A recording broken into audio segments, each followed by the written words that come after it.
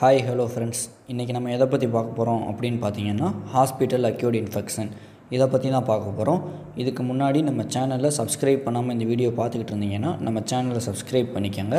அப்போ தான் நம்ம போடுற வீடியோஸ்லாம் உங்களுக்கு கண்டினியூஸாக கிடைக்கும்.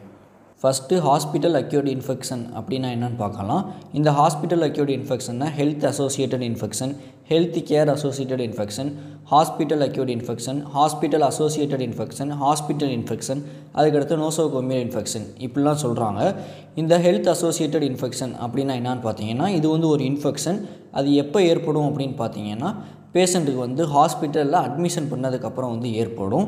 இந்த இன்ஃபெக்ஷன் உங்களுக்கு ஆல்ரெடி ப்ரெசென்ட் ஆகிருக்கலாம் அப்படி இல்லைன்னா ஹாஸ்பிட்டலில் அட்மிஷன் ஆனதுக்கப்புறம் வந்து ஏற்பட்டிருக்கலாம். இந்த இன்ஃபெக்ஷன்லாம் சில சமயங்களில் வந்து டிஸ்சார்ஜுக்கு அப்புறம் இந்த பீரியடில் வந்து இவங்க ஹாஸ்பிட்டலில் தான் இருந்தாங்க அப்படின்றதுக்கு எவிடெண்ட்டாகவும் சில சமயங்களில் வந்து அமையும். அடுத்து ஃபேக்டர்ஸ் இன்ஃப்ளூயன்சிங் இன்ஃபெக்ஷன் பற்றி பார்க்கலாம். எந்த ஃபேக்டர்ஸ்லாம் இன்ஃபெக்ஷனை வந்து இன்ஃப்ளூயன்ஸ் பண்ணுது அப்படின்னு பார்த்தீங்கன்னா ஃபஸ்ட்டு வந்து சசஸ்டபிள் பேஷண்ட்ஸ் அப்படின்னா எளிதாக பாதிக்கப்படக்கூடிய பேஷண்ட்ஸ் அவங்க யாருன்னு பார்த்தீங்கன்னா ப்ரீ எக்ஸிஸ்டிங் டிசீஸ் அதாவது ஆல்ரெடி அவங்களுக்கு வந்து டிசீஸ் இருக்கும். எப்படின்னு பார்த்தீங்கன்னா டயபெட்டிஸ் இம்யூனோசப்ரஷன் இந்த மாதிரி டிசீஸ் இருக்கும். இவங்களுக்குலாம் டிஃபென்ஸ் மெக்கானிசம் வந்து ரொம்ப கம்மியாக இருக்கும். அதனால் இவங்களுக்குலாம் வந்து எளிதாக வந்து இன்ஃபெக்ஷன் வந்து ஏற்பட்டுரும். அடுத்து செகண்ட் ஃபேக்டர் ஹாஸ்பிட்டல் என்விரான்மெண்ட் பற்றி பார்க்கலாம். ஹாஸ்பிட்டல் என்விரான்மெண்ட்டில் பார்த்தீங்கன்னா ஒய்டு வெரைட்டிஸ் ஆஃப் பேத்தோஜன்ஸ் வந்து ரொம்ப அதிகமாகவே இருக்கும். இந்த பேத்தோஜன்ஸ்லாம் air dust water food antiseptic lotions இதிலலாம் இருக்கும். அதுக்கடுத்து கண்டாமினேட்டடான எக்யூப்மெண்ட்ஸ் மூலியமாக இன்ஃபெக்ஷன் போகிறோம் அதுக்கடுத்து பெட்டிங் லெனின் அண்ட் யுட்டன்சில் அதாவது யுட்டன்சில்னால் பாத்திரம் இதில் எல்லாமே வந்து இன்ஃபெக்ஷன் இருக்கும். அதுக்கடுத்து பேஷண்ட்ஸ் வந்து அவங்க உடம்புலேருந்து இன்ஃபெக்ஷனை வந்து வெளியே வந்து ஸ்ப்ரெட் அவுட் பண்ணுவாங்க. அதை வந்து ஹாஸ்பிட்டலில் இருக்கக்கூடிய ஆட்கள் வந்து அவங்க கை மூலியமாகவோ இல்லைன்னா கிளாத் மூலியமாகவோ அந்த இன்ஃபெக்ஷனை வந்து பரப்புகிறாங்க அடுத்து தேர்டு ஃபேக்டர்னா டயக்னோஸ்டிக் ஆர் தெரப்பட்டிக் ப்ரொசீஜர்ஸ் பற்றி பார்க்கலாம். இப்போ வந்து ஒரு டயக்னோஸ்டிக் ஆர் தெரப்பட்டிக் ப்ரொசீஜர்ஸ் வந்து பண்ணுறீங்க அப்படின்னா உதாரணத்துக்கு யூரினரி கத்தீட்டர் அப்படி இல்லைன்னா ஐவி லைன் போடுறீங்க அப்படின்னா அது மூலியமாக வந்து இன்ஃபெக்ஷன் பரவும். அதுக்கடுத்து ஃபோர்த்து ஃபேக்டரான ட்ரக் ரெசிஸ்டன்ஸ் பற்றி பார்க்கலாம். ஹாஸ்பிட்டலில் இருக்கக்கூடிய இன்ஃபெக்ஷன் பார்த்தீங்கன்னா நம்ம கொடுக்குற ட்ரீட்மெண்ட்டுக்கு வந்து பயனற்ற ஒன்றா தான் இருக்கும். ஏன் அப்படின்னு பார்த்தீங்கன்னா அதை ஏற்படுத்தக்கூடிய இன்ஃபெக்டிங் ஏஜென்ட்ஸ் வந்து மல்டி ட்ரக் ரெசிஸ்டண்ட்டாக வந்து இருக்கும். அடுத்து ஃபிஃப்த்து ஃபேக்டர் டிரான்ஸ்ஃபியூஷன் பற்றி பார்க்கலாம். இதில் வந்து blood blood products IV fluids இதெல்லாம் நம்ம டிரான்ஸ்ஃபியூஷன் பண்ணுறப்ப சரியாக ப்ராப்பராக ஸ்க்ரீன்டு பண்ணாமல் டிரான்ஸ்ஃபியூஷன் பண்ணோம் அப்படின்னா இது மூலிமா வந்து இன்ஃபெக்ஷன் வந்து பரவும். அதுக்கடுத்து சிக்ஸ்த்து ஃபேக்டரான அட்வான்ஸ் இன் மெடிக்கல் ப்ராசஸ் பற்றி பார்க்கலாம். இப்போ வந்து அட்வான்ஸாக நம்ம ட்ரீட்மெண்ட் பண்ணுறப்ப cancer organ transplantation implanted prosthesis அதுக்கடுத்து அதர் சொஃபஸ்டிகேட்டட் டெக்னாலஜிஸ் இது மூலியமாகவும் வந்து இன்ஃபெக்ஷன் வந்து அதிகமாக வந்து பரவுது. அடுத்து சோர்சஸ் ஆஃப் இன்ஃபெக்ஷன் பற்றி பார்க்கலாம். இதில் வந்து ரெண்டு சோர்சஸ் இருக்குது ஒன்று வந்து எக்ஸோஜீனஸ் ஒன்று வந்து எண்டோஜீனஸ் இதில் ஹாஸ்பிட்டல் இன்ஃபெக்ஷன் வந்து அதிகமாக வந்து எக்ஸோஜீனஸ் மூலியமாக தான் வந்து ஏற்படும். இதில் அதிகமாக பாதிக்கப்படக்கூடியவங்க யாருன்னு பார்த்தீங்கன்னா பேஷண்ட்ஸ் அதுக்கடுத்து ஹாஸ்பிட்டல் பர்சனல் இவங்களுக்கு எப்படி ஏற்படும் அப்படின்னு பார்த்தீங்கன்னா அனதர் பேஷண்ட் மூலியமாக ஏற்படும். அப்படி இல்லைன்னா வேலை பார்க்குற ஸ்டாஃப் மூலியமாக ஏற்படும். அப்படி இல்லைன்னா ஹாஸ்பிட்டல் என்விரான்மெண்ட் மூலியமாக ஏற்படும்.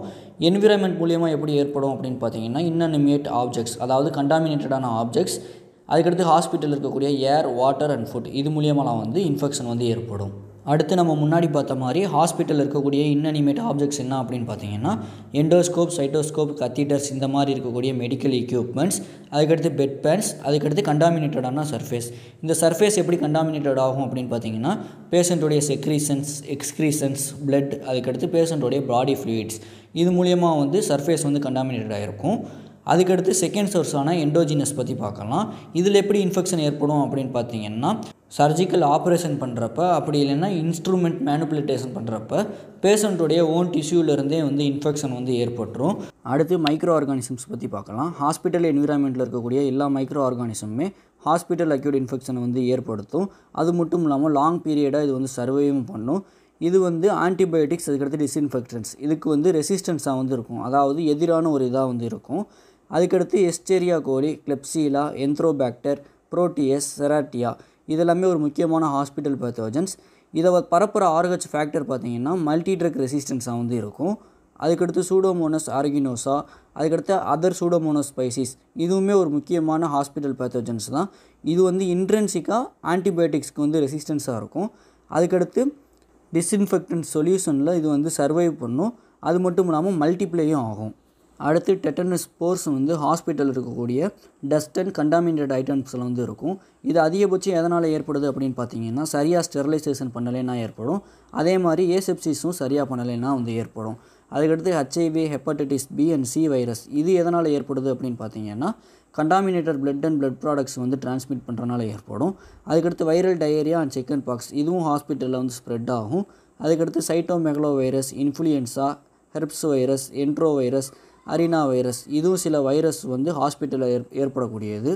அடுத்து மோட்ஸ் ஆஃப் டிரான்ஸ்மிஷன் பற்றி பார்க்கலாம். இதில் ஃபஸ்ட்டு பார்த்தீங்கன்னா காண்டக்ட் அதிகமான ஹாஸ்பிட்டல் அக்யூட் இன்ஃபெக்ஷன் வந்து காண்டக்ட் மூலியமாக தான் நடக்கும். இதில் வந்து டூ டைப்ஸ் இருக்குது ஒன்று வந்து ஹேண்ட்ஸ் ஆர் கிளாத்திங் ஒன்று வந்து இன்னனிமேட் ஆப்ஜெக்ட்ஸ் இதில் ஃபஸ்ட்டு ஹேண்ட்ஸ் ஆர் கிளாத்திங் பார்த்தீங்க அப்படின்னா நம்ம ஒரு பேஷண்ட்டை தொட்டுட்டு அடுத்த பேஷண்ட்டை வந்து தொட போகிறப்போ அப்படி இல்லைன்னா நம்ம கிளாத் வந்து அவங்கள போய் படுறப்போ வந்து இந்த இன்ஃபெக்ஷன் வந்து ஏற்படும். இதை ஏற்படுத்தக்கூடிய பேத்தோஜன்ஸ் என்ன அப்படின்னு பார்த்தீங்கன்னா ஸ்டெப்பலோகாக்கஸ் ஐரஸ் அதுக்கடுத்து ஸ்ட்ரெப்டோகாக்கஸ் பயோஜெனிசிஸ் இந்த பேத்தோஜென்ஸ் தான் இந்த இன்ஃபெக்ஷனை வந்து ஏற்படுத்தும். அதுக்கடுத்து இன்னனிமேட் ஆப்ஜெக்ட்ஸ் இது மூலியமாக எப்படி ஏற்படும் அப்படின்னு பார்த்தீங்கன்னா எண்டோஸ்கோப் பிரான்சோஸ்கோப் சைட்டோஸ்கோப் இந்த மாதிரி இன்ஸ்ட்ருமெண்ட்டை நம்ம வந்து டிஸ்இன்ஃபெக்ட் பண்ணாமல் அடுத்த பேஷண்ட்க்கு யூஸ் பண்ணுறப்போ இந்த இன்ஃபெக்ஷன் வந்து ஏற்படும். இதை ஏற்படுத்தக்கூடிய பேத்தோஜென்ஸ் என்ன அப்படின்னு பார்த்தீங்கன்னா சூடோமோனஸ் ஆர்கினோசா அடுத்து செகண்டு ஏர்பான் மூலியமாக எப்படி டிரான்ஸ்மிஷன் ஆகுது அப்படின்னு பார்க்கலாம். இதில் வந்து த்ரீ டைப்ஸ் இருக்குது ஒன்று வந்து ட்ராப்லெட்ஸ் ரெண்டாவது வந்து டஸ்ட்டு மூணாவது வந்து ஏரோசெல்ஸ் இதில் ஃபஸ்ட்டு ட்ராப்லெட்ஸ் பார்த்தீங்கன்னா இப்போ ஒருத்தவங்க தும்முனாங்க அப்படின்னா அதை நம்ம வந்து இன்ஹேல் பண்ணோம் அப்படின்னா நமக்கு வந்து இன்ஃபெக்ஷன் ஏற்படும். இது வந்து ட்ராப்லெட்ஸ் ரெண்டாவது வந்து டஸ்ட்டு இதில் பார்த்தீங்கன்னா பெட்டு ஃப்ளோர் அதுக்கடுத்து ட்ரெஸ்ஸிங் பண்ணுறப்போ ஊண்டுலேருந்து வெளியே வரக்கூடிய எக்ஸுடேட்ஸ் இது எல்லாத்தையுமே இன்ஹேல் பண்ணோம் அப்படின்னா இன்ஃபெக்ஷன் ஏற்படும். இதை ஏற்படுத்தக்கூடிய பேத்தோஜென்ஸ் என்ன அப்படின்னு பார்த்தீங்கன்னா சூடோமோனஸ் ஆர்கினோசா ஸ்டெப்பலோகாக்கஸ் ஆரியஸ் அதுக்கடுத்து மூணாவதாக பார்த்தீங்கன்னா ஏரோசெல்ஸ் நெப்லைசர் ஹியூமிடிஃபையர் அதுக்கடுத்து ஏர் கண்டெய்னிங் அப்பாரட்டஸ் இது மூலியமாக நம்ம இன்ஹேல் பண்ணிக்கிட்டு இருந்தோம் அப்படின்னா அதில் பேத்தோஜென்ஸ் இருந்துச்சுன்னா அதை சேர்த்து நம்ம இன்ஹேல் பண்ணுறப்ப நமக்கு வந்து இன்ஃபெக்ஷன் வந்து ஏற்படும். அடுத்து மூணாவதாக ஓரல் ரூட் மூலியமாக எப்படி டிரான்ஸ்மிஷன் ஆகுது அப்படின்னு பார்க்கலாம். ஹாஸ்பிட்டல் ஃபுட்டில் பார்த்தீங்கன்னா ஆன்டிபயோட்டிக் ரெசிஸ்டன்ட் பாக்டீரியா வந்து அதிகமாக இருக்கும். இது என்ன பண்ணும் அப்படின்னு பார்த்தீங்கன்னா இண்டஸ்ட்ரீனில் வந்து காலனைஸ் பண்ணிடும் அதுக்கடுத்து பாதிக்கப்படக்கூடிய பேஷண்ட்ஸ்க்கு வந்து லேட்டராக வந்து இன்ஃபெக்ஷனை வந்து ஏற்படுத்தும். அடுத்து நாலாவது பேரண்ட்ரல் ரூட் இது மூலியமாக எப்படி டிரான்ஸ்மிஷன் ஆகுது அப்படின்னு பார்த்தீங்கன்னா டிஸ்போசபிள் சிரஞ்ச் ஆர் நீடில்ஸ் இது மூலியமாக டிரான்ஸ்மிஷன் ஆகிற இன்ஃபெக்ஷன் வந்து ரொம்ப கம்மி தான் வேறு எப்படி இன்ஃபெக்ஷன் டிரான்ஸ்மிஷன் ஆகும் அப்படின்னு பார்த்தீங்கன்னா பிளட் டிரான்ஸ்மிஷன் அப்படி இல்லைன்னா டிஷ்யூ டிரான்ஸ்மிஷன் பண்ணுறப்போ வந்து ஏற்படும். அது மட்டும் இல்லாமல் கண்டாமினேட்டட் பிளட் ப்ராடக்ட்ஸ் அப்படி இல்லைன்னா கண்டாமினேட்டட் இன்ஃபியூஷன் ஃப்ளூயிட்ஸ் இதை டிரான்ஸ்மிஷன் பண்ணுறப்பையும் இன்ஃபெக்ஷன் வந்து ஏற்படும். இதில் காமனாக ஏற்படக்கூடிய இன்ஃபெக்ஷன் என்ன அப்படின்னு பார்த்தீங்கன்னா ஹெப்பாட்டிட்டிஸ் பி அண்ட் ஹெச்ஐவி இந்த ரெண்டு வைரஸ் தான் காமனாக வந்து ஏற்படும். அடுத்து காமன் ஹெல்த் அசோசியேட்டட் இன்ஃபெக்ஷன் பற்றி பார்க்கலாம். இதில் ஃபஸ்ட்டு பார்த்தீங்கன்னா யூரினரி ட்ராக்ட் இன்ஃபெக்ஷன் யூடிஐ பற்றி பார்க்கலாம். இது பார்த்தீங்கன்னா எப்படி ஏற்படும் அப்படின்னு பார்த்தீங்கன்னா கத்திட்ரேஷன் பண்ணுறப்ப ஏற்படும். அப்படி இல்லைன்னா யூரித்ரா பிளாடர் இல்லைன்னா கிட்னி இதில் வந்து இன்ஸ்ட்ருமெண்ட் யூஸ் பண்ணுறப்போ வந்து ஏற்படும். இதை ஏற்படுத்தக்கூடிய பேத்தோஜன்ஸ் என்ன அப்படின்னு பார்த்தீங்கன்னா Escherichia coli Klebsiella Proteus Serratia Pseudomonas Providencia coagulase negative staphylococci enterococci Candida albicans இந்த பேத்தோஜன்ஸ் தான் யூரினரி ட்ராக்ட் இன்ஃபெக்ஷனை வந்து ஏற்படுத்துது. இதை எப்படி தடுக்கலாம் அப்படின்னு பார்த்தீங்கன்னா கத்திட்ரேஷன் பண்ணுறப்ப ப்ராப்பர் ஸ்ட்ரிக்ட் ஏசெப்சிஸ் மெத்தடை ஃபாலோ பண்ணோம் அப்படின்னா இந்த இன்ஃபெக்ஷனை வந்து தடுக்கலாம். அடுத்து செகண்ட் ரெஸ்பிரேட்டரி இன்ஃபெக்ஷன் பற்றி பார்க்கலாம். இது எப்படி ஏற்படுது அப்படின்னு பார்த்தீங்கன்னா அன்கான்ஷியஸ் பேஷண்ட்ஸ் வந்து ஆஸ்பிரேஷன் ஏற்படுறது மூலியமாக ஏற்படும். அதுக்கடுத்து பல்மினரி வென்டிலேஷன் மூலியமாக வந்து ஏற்படும். அதனால் இதை வந்து வென்டிலேட்டர் அசோசியேட்டட் நிமோனியா அப்படின்னு சொல்கிறாங்க இதை ஏற்படுத்தக்கூடிய மேஜர் பேத்தோஜன்ஸ் என்ன அப்படின்னு பார்த்தீங்கன்னா Staphylococcus aureus Klebsiella Enterobacter Serratia Proteus Escherichia coli Pseudomonas aeruginosa Acinetobacter Legionella pneumophila அதுக்கடுத்து ரெஸ்பிரேட்டரி வைரஸஸ் இந்த பேத்தோஜென்ஸ் தான் ரெஸ்பிரேட்டரி இன்ஃபெக்ஷனை வந்து ஏற்படுத்துது. அடுத்து மூணாவதாக ஊண்டன் ஸ்கின் செப்சிஸ் பற்றி பார்க்கலாம். இது எப்போ ஏற்படும் அப்படின்னு பார்த்தீங்கன்னா வயசானவங்களுக்கு போஸ்ட் ஆப்ரேட்டிவ் இன்ஃபெக்ஷனாக வந்து ஏற்படும்.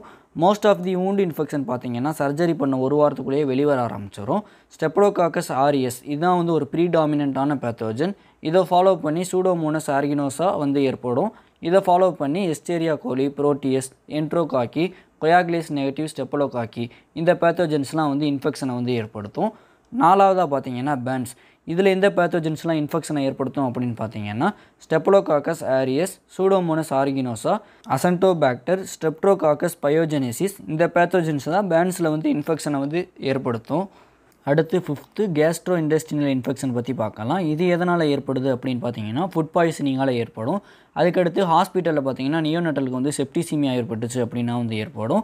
இதை காமனாக ஏற்படுத்தக்கூடிய பேத்தோஜென்ஸ் என்ன அப்படின்னு பார்த்தீங்கன்னா சல்மோனிலா அதுக்கடுத்து செஜிலா சோனியா இந்த பேத்தோஜென்ஸ் தான் கேஸ்ட்ரோ இன்டெஸ்டினல் இன்ஃபெக்ஷனை வந்து காமனாக வந்து ஏற்படுத்தும். அதுக்கடுத்து பேக்டீரிசீமியா அந்த செப்டிசீமியா இதை பற்றி பார்க்கலாம். இது வந்து எந்த சைட்டில் வேணால் ஏற்படுத்தலாம். இது எதனால் காசு ஆகுது அப்படின்னு பார்த்தீங்கன்னா இன்ட்ராவெனிஸ் கேனுலா அதாவது ஐவி கேனுலாவில் வந்து இன்ஃபெக்ஷன் ஏற்பட்டுருந்துச்சு அப்படின்னா இந்த பாக்டீரிசீமியா அந்த செப்டிசீமியா வந்து ஏற்படும். இதை ஏற்படுத்தக்கூடிய பேத்தோஜென்ஸ் என்ன அப்படின்னு பார்த்தீங்கன்னா கிராம் நெகட்டிவ் பெசிலி இந்த பேத்தோஜென்ஸ் தான் இதை வந்து ஏற்படுத்துது. அதுக்கடுத்து ஆர்டிஃபிஷியல் ஹார்ட் வால்ஸ் வச்சுருக்க பேஷண்ட்ஸ்க்கு வந்து ஸ்டெப்ரோகாக்கஸ் எபிடெர்மிடிஸ் பாக்டீரிசீமியா இது வந்து காமனாக வந்து ஃபவுண்ட் ஆகிருக்கு அடுத்து இந்த டேப்லெட் காலம் பாருங்கள் இதில் காமனாக ஹாஸ்பிட்டல் அக்யூர் ஆகக்கூடிய இன்ஃபெக்ஷன் அதுக்கடுத்து அதை ஏற்படுத்தக்கூடிய காசிட்டிவ் ஆர்கனிசம்ஸ் வந்து இருக்குது இது வந்து நம்ம முன்னாடி பார்த்தது தான். இதில் வந்து டேப்லெட் காலமாக கொடுத்துருக்கேன். பார்த்துக்கோங்க. அடுத்து ஹாஸ்பிட்டல் அக்யூட் இன்ஃபெக்ஷனுடைய டயக்னோசிஸ் அண்ட் கண்ட்ரோல் மெத்தட்ஸ் பற்றி பார்க்கலாம். இந்த ஹாஸ்பிட்டல் அக்யூட் இன்ஃபெக்ஷன் வந்து அவ்வப்போது நடந்துக்கிட்டே தான் இருக்குது அப்படி இல்லைன்னா ஒரு அவுட் பிரேக் மூலியமாக வந்து நடக்கும். இதை எப்படி டயக்னோசிஸ் பண்ணுறது அப்படின்னு பார்த்தீங்கன்னா direct smear examination culture and sensitivity testing இந்த மாதிரி இருக்கக்கூடிய ரொட்டீன் பாக்டீரியாலஜிக்கல் மெத்தட்ஸ் மூலியமாக இதை வந்து டயக்னோசிஸ் பண்ணலாம். இதுக்கு தேவையான சாம்பிளை வந்து இன்ஃபெக்ஷனான சோர்ஸ்லேருந்து எடுக்கிறாங்க. அந்த சோர்ஸ் எங்கெல்லாம் இருக்கும் அப்படின்னு பார்த்தீங்கன்னா ஹாஸ்பிட்டல் பர்சனலில் இருக்கலாம் இன்அனிமேட் ஆப்ஜெக்ட்ஸில் இருக்கலாம் வாட்டர் ஏர் ஆர் ஃபுட் இங்கெல்லாம் இருக்கலாம். இந்த ஹாஸ்பிட்டல் அக்யூட் இன்ஃபெக்ஷனை கண்ட்ரோல் பண்ணுற ஒரு முயற்சி வந்து இன்னும் நடந்துக்கிட்டே தான் இருக்குது அடுத்து இன்ஃபெக்ஷன் கேரியர் வந்து கண்டிப்பாக ட்ரீட் பண்ணியே ஆகணும். சில சமயங்களில் இன்ஃபெக்ஷன் வந்து ஆட்டோக்ளேவ் சரியாக பண்ணாதனால ஏற்படும். அதனால் ஸ்டெர்லைசேஷன் டெக்னிக் வந்து கரெக்டாக பண்ணியிருக்கணும். அதுக்கடுத்து பல ஹாஸ்பிட்டலில் வந்து இன்ஃபெக்ஷன் கண்ட்ரோல் பண்ணுறதுக்கு வந்து அதிகமான அளவில் வந்து ஆன்டிபயோட்டிக்ஸ் வந்து யூஸ் பண்ணுவாங்க. அடுத்து ஹாஸ்பிட்டல் அக்யூட் இன்ஃபெக்ஷனை எப்படி ப்ரிவெண்ட் பண்ணலாம் அப்படின்னு பார்க்கலாம். நம்ம வந்து ரெகுலராக ப்ராப்பராக ஹேண்ட் வாஷ் பண்ணால் அதுக்கடுத்து எக்யூப்மெண்ட்ஸை வந்து டிஸ்இன்ஃபெக்ஷன் பண்ணால் அதுக்கடுத்து ஒர்க் பண்ணுற கிளாத்ஸை வந்து சேஞ்ச் பண்ணோம் அப்படின்னா டிரான்ஸ்மிஷன் ஆகக்கூடிய இன்ஃபெக்ஷனை வந்து கண்ட்ரோல் பண்ணலாம். அதுக்கடுத்து கேரியராக இருக்கக்கூடிய ஸ்டாஃப் அப்படி இல்லைன்னா பேஷண்ட் இவங்க வந்து ஆன்டிபயோட்டிக் எடுத்துக்கிட்டாங்க அப்படின்னா இன்ஃபெக்ஷனை வந்து கண்ட்ரோல் பண்ணலாம். அதுக்கடுத்து இன்அனிமேட்டட் ஆப்ஜெக்ட்ஸை வந்து ப்ராப்பராக ஸ்டெர்லைசேஷன் அண்ட் டிஸ்இன்ஃபெக்ஷன் வந்து பண்ணணும். இது மூலிமா பண்ணோம்னா சோர்ஸ் ஆஃப் இன்ஃபெக்ஷனை வந்து கண்ட்ரோல் பண்ணலாம். அதுக்கடுத்து இன்ஃபெக்டடான மெட்டீரியலை வந்து டிஸ்இன்ஃபெக்ஷன் பண்ணோம் அப்படின்னா இன்ஃபெக்ஷனுடைய எக்ஸீட் பாயிண்ட்டை வந்து கண்ட்ரோல் பண்ணலாம். அடுத்து dressing surgical gloves face mask அதுக்கடுத்து ஐவி ஃப்ளூயிட்ஸ் இதெல்லாமே கான்ட்ரிபியூட் பண்ணுறப்ப ஸ்டெரைலாக பண்ணோம் அப்படின்னா இன்ஃபெக்ஷனை வந்து கண்ட்ரோல் பண்ணலாம். அதுக்கடுத்து ப்ரீ ஆப்ரேட்டிவாக பேஷண்ட் ஸ்கின்னெல்லாம் வந்து டிஸ்இன்ஃபெக்ஷன் பண்ணோம் அப்படின்னா இன்ஃபெக்ஷனை வந்து கண்ட்ரோல் பண்ணலாம். அதுக்கடுத்து ஹாஸ்பிட்டல் அக்யூட் இன்ஃபெக்ஷனுக்கு ப்ராப்பர் இன்வெஸ்டிகேஷன் எடுத்து அதுக்கு தேவையான ட்ரீட்மெண்ட் எடுத்தோம் அப்படின்னா நம்ம வந்து இன்ஃபெக்ஷனை வந்து கம்மி பண்ணலாம். இதோட இந்த வீடியோ அவ்வளோதான் ஃப்ரெண்ட்ஸ் ஷார்ட் நோட் லிங்க்ஸ் வந்து டிஸ்கிரிப்ஷனில் கொடுத்துருக்கேன். மறக்காமல் டவுன்லோட் பண்ணிக்கோங்க. இந்த வீடியோ பிடிச்சிருந்தா லைக் பண்ணுங்கள் ஷேர் பண்ணுங்கள் கமெண்ட் பண்ணுங்கள் மறக்காமல் நம்ம சேனலை சப்ஸ்கிரைப் பண்ணுங்கள்